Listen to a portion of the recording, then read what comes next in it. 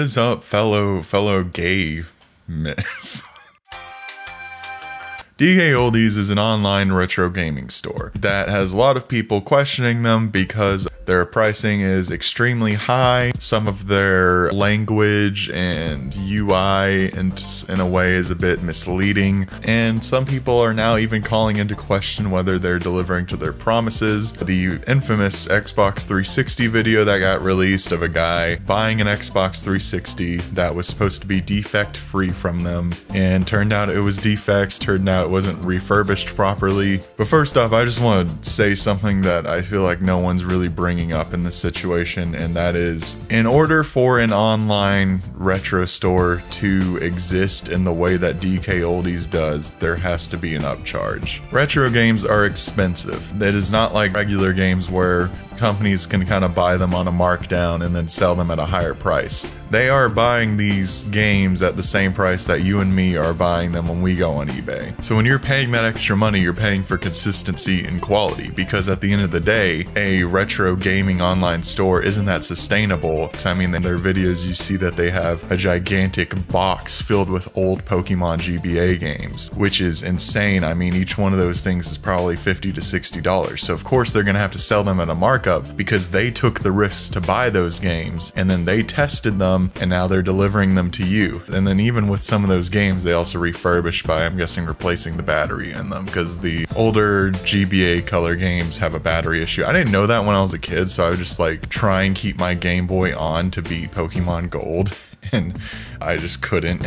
It would, it would it would shut off at some point or die or something. Also, you have to take into consideration overhead. You know, they have to hire employees. They have to hire this guy who apparently is their social marketing dude. He doesn't even really work for the company as like a real, or I shouldn't say real, but a normal employee. Which I think they need to hire a new guy. This guy is so fucking annoying. I literally did not even buy from these people or consider it because I was just so annoyed by this guy. I think I just hate it when tech channels just pretend that they're all right let me let me act this scenario out for you. Oh this is an at2020 cardioid condenser microphone. Ah this is the broadband adapter that goes down here in this port. Game Boy player and a matching one. That requires another port down here on the bottom. It's shit like that you know like where they catch something they pretend they know all the specs off the top of their fucking head. It's so annoying. Any business like this has risk attached to it. And you can always just say, oh, I can get that for the same price on eBay. When you're getting on eBay, you don't actually have a brand a company who's willing to take that risk for you and test the product. So of course there's going to be a significant overcharge. Let's actually look into this. Wow, Pokemon Sapphire for $140. Pokemon Fire Red for 180 Um, I have both of these games. I've checked into their prices before. They are not worth that much. Um, and, and maybe if you have the original box art, they are. I'm assuming they don't have no, they do not have the, the, the, fucking box art. So, the most expensive one I'm seeing is 65. Their price is $140. I understand the overcharge, but charging like 100 bucks on the most expensive price on eBay is fucking ridiculous. And another thing they've been criticized for is their ridiculously bad trade-in prices. So for example, right here, they will give you $30 for a Nintendo Wii, which they will then resell for $114. Meanwhile, if you go over to GameStop's site, they will give you $30 for a wireless Pro controller